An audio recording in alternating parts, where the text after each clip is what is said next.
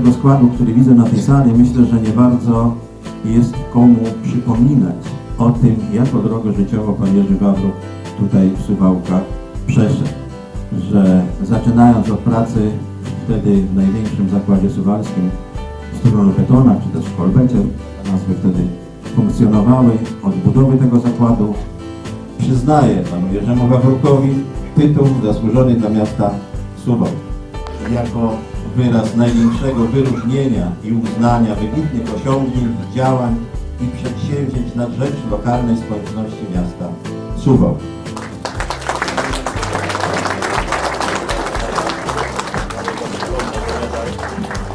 Pan jest troszeczkę taki, no bym powiedział, lepiej go nie, może nie używać, ale obok jest herb naszego miasta prawidłowy i ten prosimy o używanie. Robisz ode mnie przede wszystkim zdrowia. Tobie dzisiaj życzę, a za te długie lata funkcjonowania tutaj w Suwałkach, za Twoją pracę zawodową, za Twoją aktywną, myślę, aktywność, myślę, że tą jaką absolwujecie po prostu za, zasłużony na naszego miasta jak najbardziej. Wszystkiego dobrego. która tak dużo zrobiła i wniosła do naszego miasta, nie możemy być obojętni tej sytuacji i w ogóle. Myślę, że powinniśmy to uczynić znacznie wcześniej. Może zabrakło nam refleksu w odpowiednim miejscu, ale dobrze, że teraz y, przy, przyszła, przyszła taka myśl i możemy to zrealizować.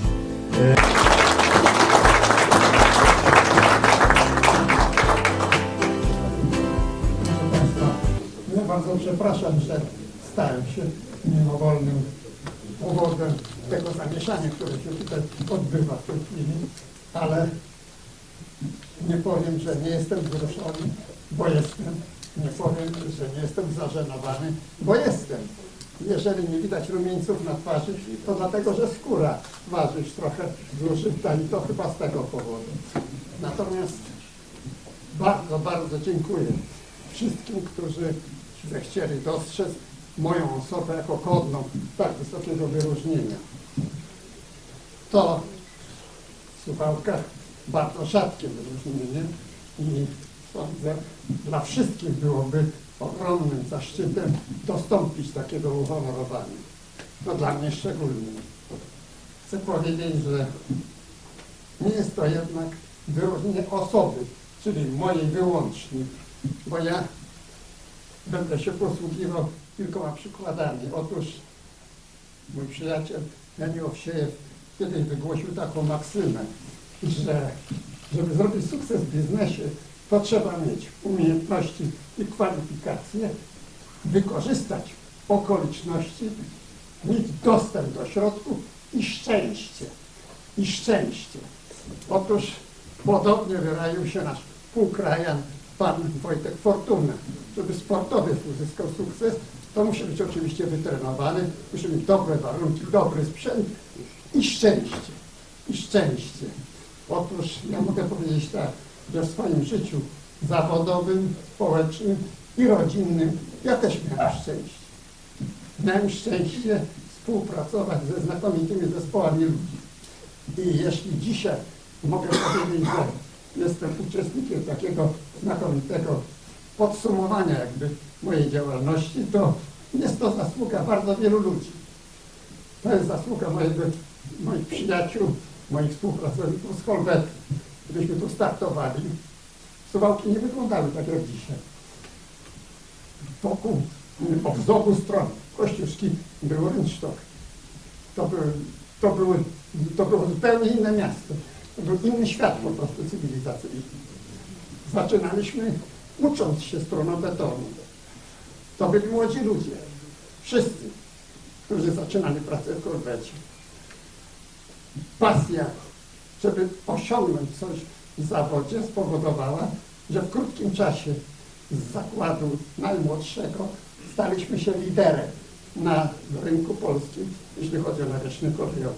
To z Kolbetu, tu z Suwałk wyszły propozycje rekonstrukcji podkładu pod rozjazdnicy, nowej technologii.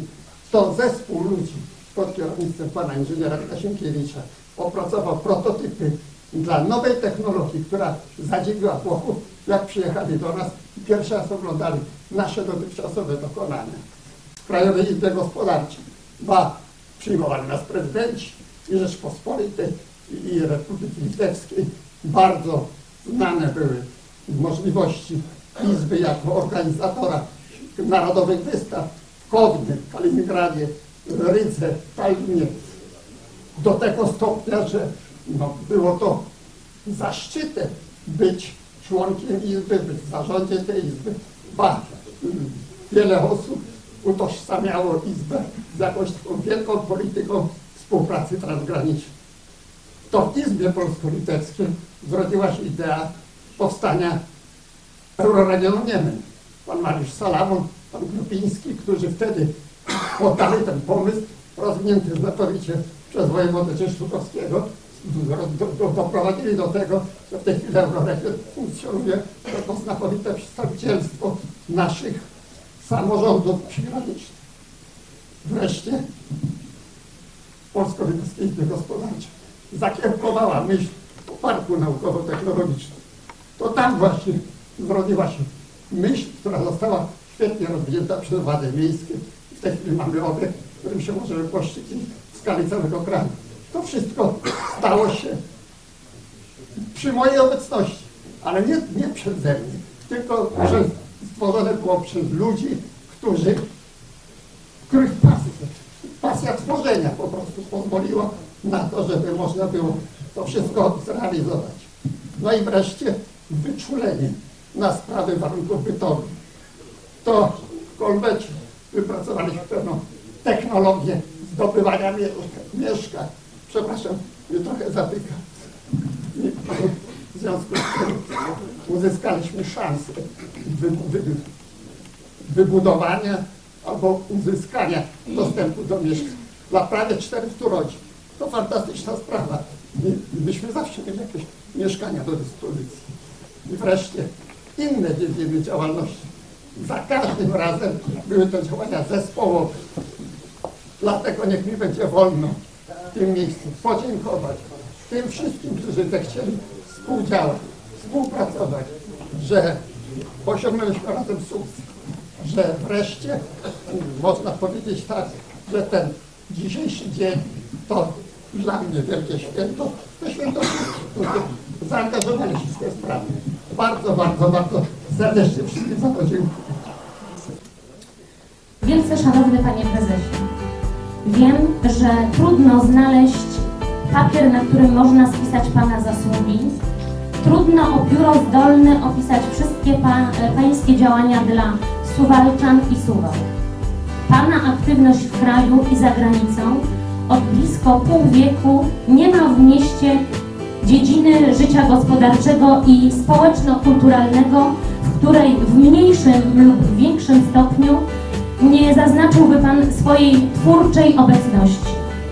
Pragnę jako Pana była współpracowniczka i poseł na Sejm Rzeczypospolitej Polskiej wyrazić swoją radość i jak najserdeczniej pogratulować tytułu Mało komu on się tak należy. To Pan budował przed laty nowoczesny kolbet, dom technika, mieszkania dla robotników, organizował spółdzielnię mieszkaniową czy ośrodek rehabilitacji. To Pan jako założyciel NOT-u w województwie był inicjatorem ruchu racjonalizatorskiego i innowacyjnego myślenia. Zawsze wykonywał Pan nieskończenie więcej niż nakazywał obowiązek. Przecież nie musiał Pan zabiegać o organizację Suwalskiej Techniki, organizować robotniczej ligi piłkarskiej czy kolonii dla dzieci. Piękna, piękną kartę zapisał Pan jako organizator kultury. To jest mi bliskie sercu. Nieodżałowanej pamięci Suwalskie Towarzystwo Kultury też zawdzięcza mu, czyli Panu, kilka pomysłów zrealizowanych pod prezesowaniem klubu Grancę i zainicjowanie wymiany grup młodzieży, to też jest Pańska zasługa. W tym natłoku zajęć znajdował Pan czas, by pomagać moim harcerzom i w prowadzeniu zajęć i w organizacji ich wypoczynku. Wreszcie to pan z kolegami w 1992 roku usiadł w rowie na granicy z, z Litwą podpisał dokument powołujący Polsko-Litewską Izbę Gospodarczą.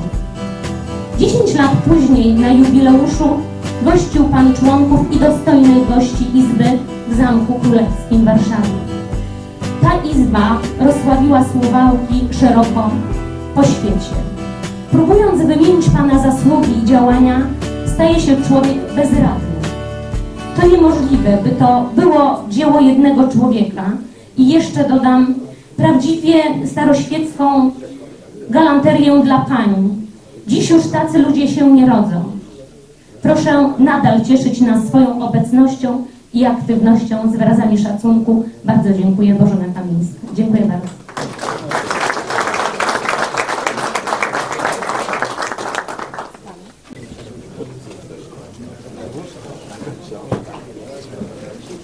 I przyjacielowi przede wszystkim, bohaterowi dni naszych. Niech Ci się zawsze szczęści, niech nadzieje i życzliwość bliskich zawsze Ci towarzyszą. Zasłużony dla Suwałk i dla nas wszystkich. Gratulujemy. No i w imieniu Stowarzyszenia podpisaliśmy.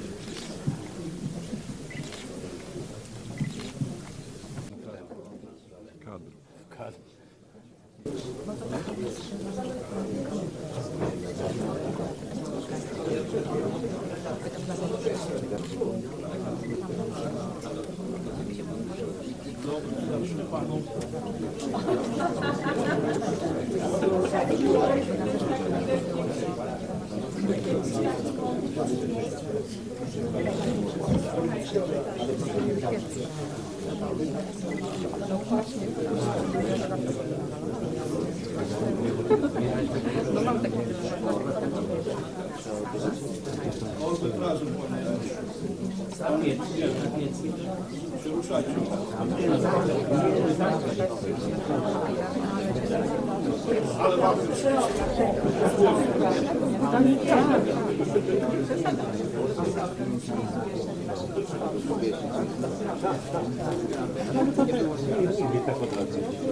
Nie wiem, ale można było spróbować.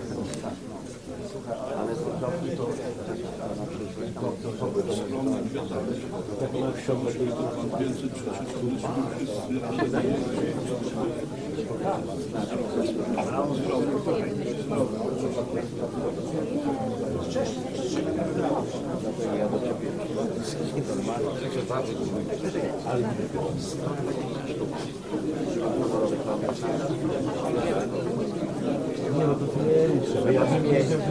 też tego nie widziałem.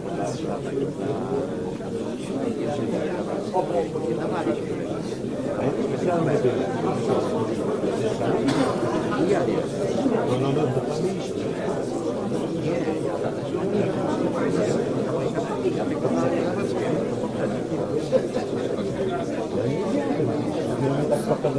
Co roku je pokazałem, też tego nie wiedziałem.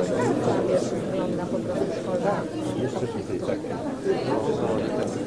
Pani to Młotka trzeba zapytać. No bo skąd są Pani zwykłe zamości?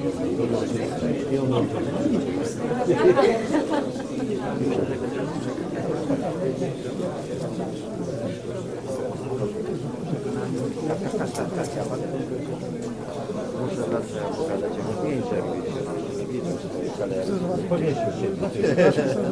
się. Ale słuchaj, tam będzie, będzie przemeblować. Tam,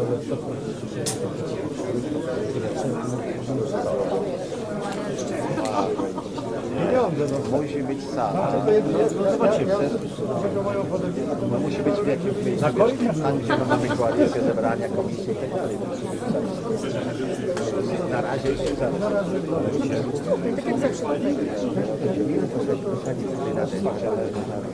No to jak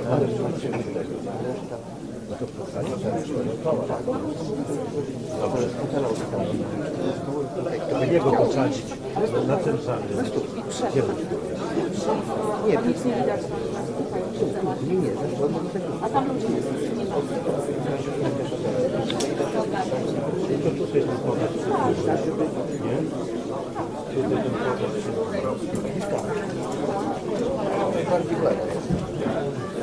Okej, dobra, to dobra.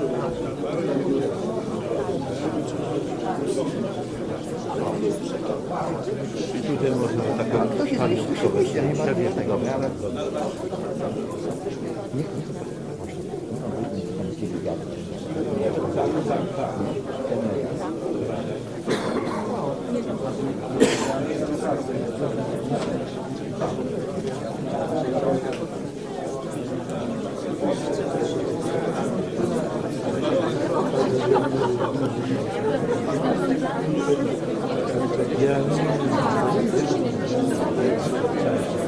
ale...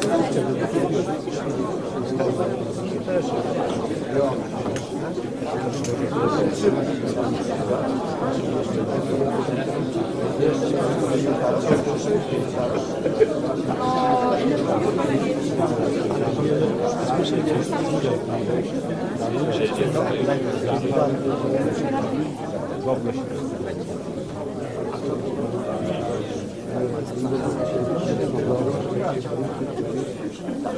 아, 진짜.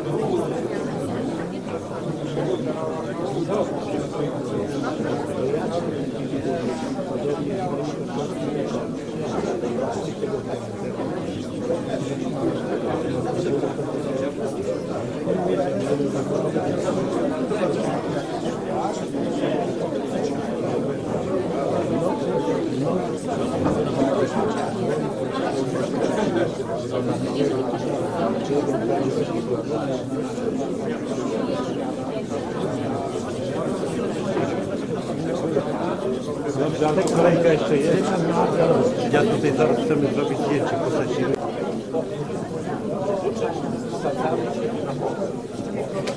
Bierzesz to, wysłaniacie. Nie, nie, nie, Ale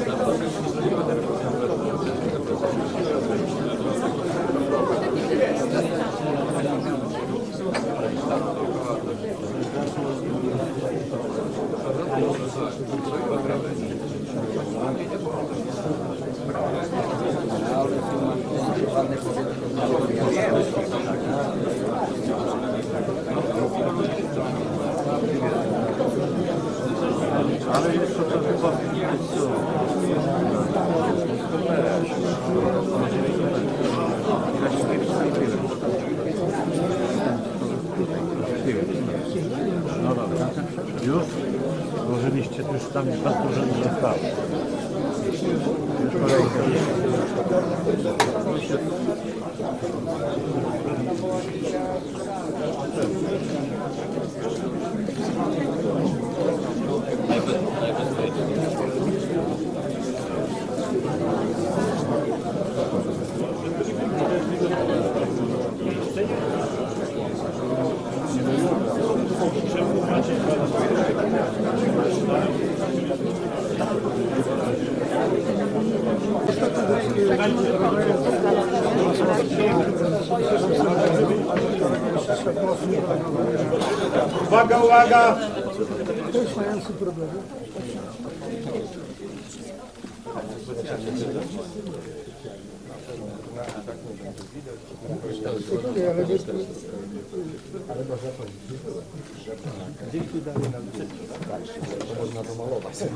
Czy można jeszcze tutaj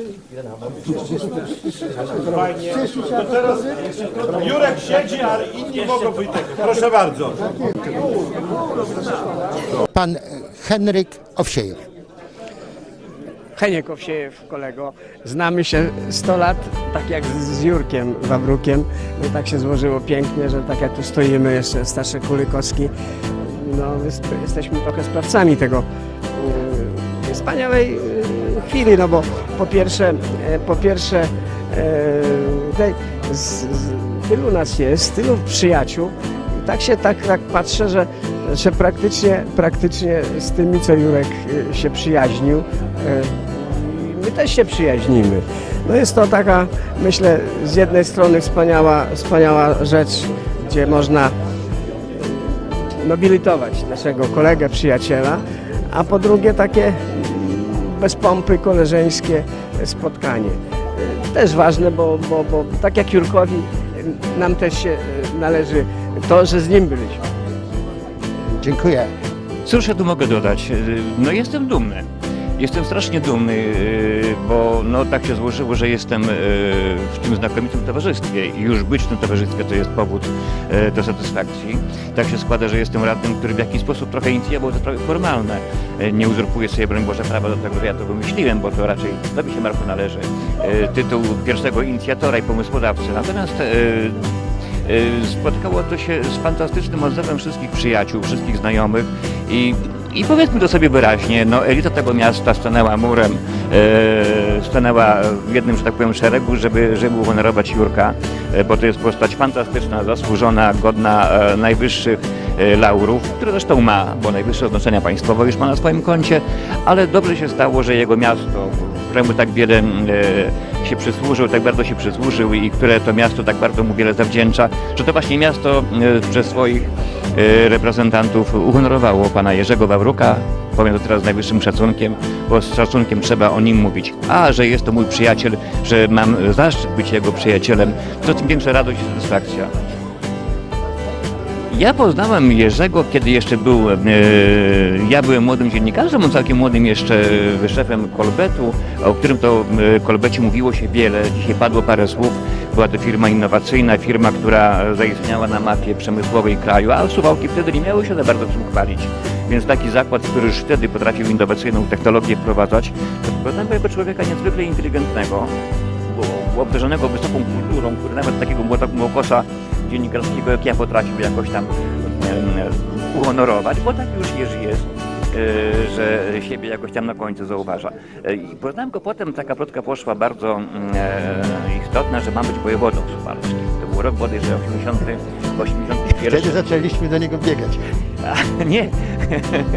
I wtedyśmy wszyscy, którzy go znali, już wtedy wiedzieli, że byłby to znakomity wojewoda. Ale może się dobrze stało, że nie ostał się tym wojewodą, bo był ugrząst tej biurokracji, y, w tych urzędniczych sprawach, a tak y, fantastycznie funkcjonował. Stworzył wiele znakomitych podmiotów gospodarczych. Cieszmy się z tego. Henryk, właśnie, Henryk, y, ty też e, uciekłeś od stanowisk państwowych, samorządowych i zajęłaś się biznesem, zresztą współpracując z Jurkiem. Tak, no i wcale nie narzekam, że tak zrobiłem, ale ja e, przypomnę o jednej rzeczy, której, której Jurek tutaj dzisiaj ani pan prezydent w swojej laudacji nie, nie powiedzieli. Słuchajcie, jest rok 82, y, szczyt stanu wojennego, a my wymyśliliśmy z Jurkiem wystawę we Francji w Grand Seine gospodarczą i rzeczywiście na początku 83 roku pojechało przedstawiciele 30 firm z byłego województwa suwalskiego do wrażej Francji. Wspaniałą żeśmy zrobili e, imprezę. Zarobiliśmy, jeszcze zarobiliśmy, bo sprzedając wszystkie, wszystkie tam urządzenia i, i, i napoje, e, zarobiliśmy pieniądze jeszcze. No, no to niesamowita sprawa. była. I to zostało ci do tej pory swoje kontakty z Francuzami. No przyznajcie panowie, Jurek jest wspaniały. Tak jest. Jurek jest najwspanialszy. Najwspanialszy. Dziękuję wam bardzo. Lubisz Jurka?